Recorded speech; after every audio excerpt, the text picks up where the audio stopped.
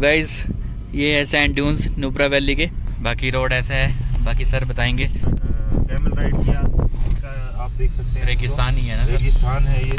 Sir road भी कहाँ बना है ना? बिल्कुल मतलब रेगिस्तान के बीच में स्ट्रेट रोड है। बहुत सुंदर वैली है देख सकते हैं आप देखिए बहुत बढ़िया। और मैं ये पूछना चाहता हूँ आपको कि अगर किसी ने नुब्रा वैली आना है तो आप क्या बताते हो कि किस टाइम आना चाहिए? सबसे पहले तो आप कैमल राइड के लिए जाइए। कहाँ पे है सर ये ये आपके हुडर में है। अच्छा जी। और वहाँ पर और- जो है वो आप नौ से बारह पहुँचिए। जी। तो तीन बजे के बाद साढ़े तीन बजे के बाद पहुँचिए सात बजे तक। जी। तो कैमल राइड होती है। इन बिटवीन लंच टाइम रहता है। जी। बजे से लेके साढ़े तीन बजे तक। तो उस वक्त कोई फ़ायदा नहीं जाके वहाँ पर। जी जी जी। तो इस टाइम पे जाएँ ज़रूर। Monastery sir monastery Diskit monastery as like other monastery कब कितने बजे कवर करनी चाहिए हो ये आप कवर कर सक- बीच में जाते हुए कवर कर सकते हैं आते हुए कवर ये सर का बोलने का मतलब अगर आप अर्निंग ले से चल रहे हो खरदुंग ला होके कैमल राइड के लिए उधर में पहुँच जाइए और उसके बाद वापसी में आप डिक्सिट जाइए।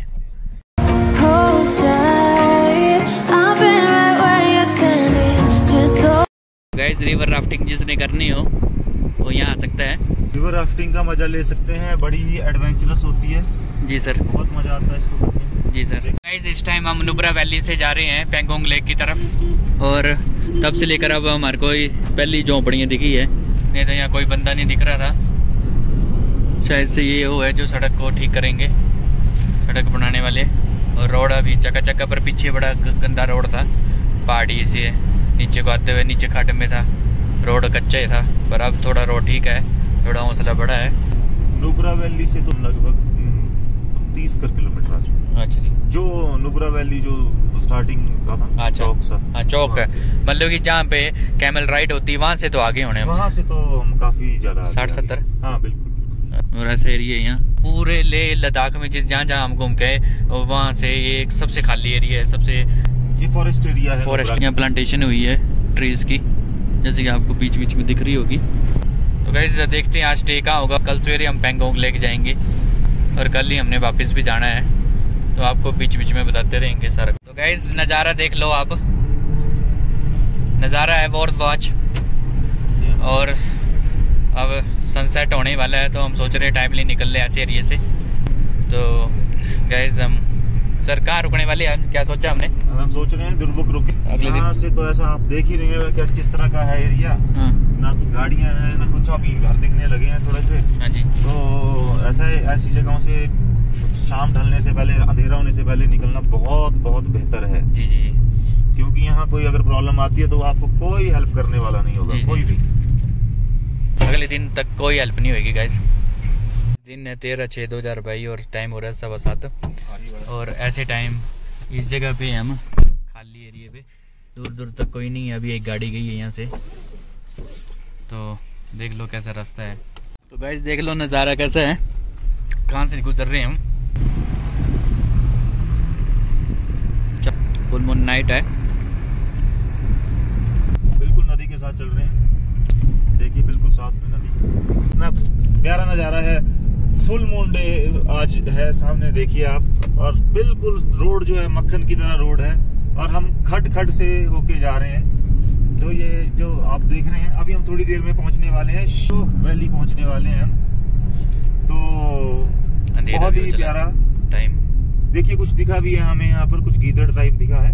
क्या वो दौड़ रहा है। धीरे करना धीरे करना। फोक्स फोक्स धीरे करना सर धीरे करना जूम नहीं बज रहा रुक जाओ कहाँ गया वो है रुक कहाँ है? वो पत्थर पे है सर रोक दो। टाइम हो रहा है आठ बज के सतारह मिनट और आज है चांदनी रात और हम जा रहे हैं अभी भी पेंगोंग लेक की तरफ़, क्योंकि इस, ये जो हम इसलिए जा रहे हैं इस टाइम क्योंकि इससे हमारा कल का जो डिस्टेंस है वो कम हो जाएगा और वापस जाने को हमारे को जल्दी हम अपनी लोकेशन पे पहुँचेंगे। और अंधेरा बड़ा ज़्यादा है फिर भी। चांदनी रात है तो हमारे को दिख रहा है इस वक्त, बाहर भी। सर, क्या बोलना चाहते हो? देखिए अभी तो हम कोशिश कर रहे हैं कि पेंगोंग पहुँच जाए टाइमली जी जी पेंगोंग पहुँचने लगभग 10 के आसपास हम पहुँचेंगे पेंगोंग 10 बजे के आसपास। जी। दुर्बुक तीन किलोमीटर है अभी। हाँ जी। तो दुर्बुक से 40 लगभग 40 किलोमीटर होगा पेंगोंग। जी। तो चलो कोशिश कर रहे हैं रास्ता क्लियर है। उन्डर से सर कितने बजे चले थे हम? हम लगभग पाँच सवा पाँच साढ़े पाँच के आसपास। नहीं हाँ। पाँच बजे तक तो कैमल राइड ही हुई थी। हाँ। हम एक्सचेंज कर रहे थे। हाँ, सवा पाँच जना। वहीं हो गए थे हमारे को। मोनेस्ट्री भी गए थे। हाँ सवा पाँच हो गए थे गाइस फाइव फिफ्टीन पे हम चले हैं वहाँ से। और कल आते तो कल बड़ा ट्रैफ़िक होना था और टाइम हमारा वेस्ट होना था। इस करके हम रातों रात ही आ गए शाम और शाम ही सॉरी और मैं और सर रेकमेंड करेंगे कि शाम को ना आया जाए इस रोड से। हो सके तो दिन से निकल जाए। दिन में भी ना आ जाए। मैं वही बोलता हूँ कि बारिश वाले दिन मत आना भूल के भी इस रोड से। जो कि आपको हुंदर हुंदर वैली हुंदर से लेकर आपको पेंगोंग लेक जोड़ जोड़ रहा है। मैं इसलिए ये बात कह रहा हूँ क्योंकि बाकी रोड जो है उनमें कोई ना कोई टूरिस्ट चलता रहता है। जी। तो आपको हेल्प मिल सकती है। जी जी। परंतु इस रोड पे कोई हेल्प नहीं मिलेगी आपको। किसी तरह की भी। जी जी। ये स्ट्रेच जो है लगभग 50 किलोमीटर के स्ट्रेच में कोई हेल्प नहीं मिलेगी। जी। खड है नदी है आसपास कोई घर नहीं है। जी। और ये क्या आर्मी एरिया तो नहीं है? तो गाइस टाइम हो रहा है आठ बज के तीस मिनट एट थर्टी और हम पहुँच चुके हैं होम स्टे में। तो हम पेंगोंग लेक नहीं गए, क्योंकि सुना है कि पेंगोंग लेक में बड़ी ठंड होती है इस टाइम तो इस करके हम दुरबुक में रुक गए। यहाँ से एक घंटे का रन है। सवेरे हम उठ के सोच रहे हैं कि प्लान है हमारा, चार बजे उठेंगे और पाँच बजे तक जब सनराइज़ होता है तब पेंगोंग लेक सबसे अच्छा नज़ारा होगा उस टाइम का। तो उस टाइम वहाँ होंगे। उसके बाद वापस यहीं आना पड़ेगा। यहाँ से लेक के लिए रास्ता है। लेक वहीं से हम सीधे मनाली के लिए निकलेंगे, कल ही। तो आज हमने बहुत लंबा सफ़र तय किया है। हम लेह में सवेरे उठे थे। सवेरे लेह में उठ के हमने संगम व्यू में गए। संगम व्यू के बाद हम गुरुद्वारा गए। उसके बाद हम वहाँ से शे, शे पैलेस में गए। उसके बाद हम वहाँ से खरदुंगला के लिए निकल पड़े। खरदुंगला से हम नुब्रा वैली के लिए निकले। नुब्रा वैली में हमने उस टाइम पहुँचे जब कैमल राइड की लंच था। कैमल राइड याद रखना गाइस कि कैमल राइड का लंच बारह से लेकर तीन साढ़े तीन तक। तो इसलिए बारह बजे से पहले पहुँच जाए नुब्रा वैली में। और, हमारे को फिर साढ़े तीन बजे नंबर पड़ा हमारा और चार के बजे हमने कैमल राइड किया है। फिर हम गोम्पा भी गए थे वहीं पे, खोखसर में। उसके बाद हम वहाँ से निकल चुके हैं पाँच बजे। पाँच बजे निकले थे यहाँ के लिए और टाइमली पहुँच गए हमारा आधा दिन बच गया अब। आगे की इन्फॉर्मेशन मैं आपको देता रहूँगा और ये ऐसा एरिया है। है तो ऐसे लग रहा है कि घर पुराने वैसे ऐसे लग रहे हैं। पर चलो टाइम पास ही तो करना है। ठीक है गैस आगे की इन्फॉर्मेशन मैं बाद में बताता हूँ आपको।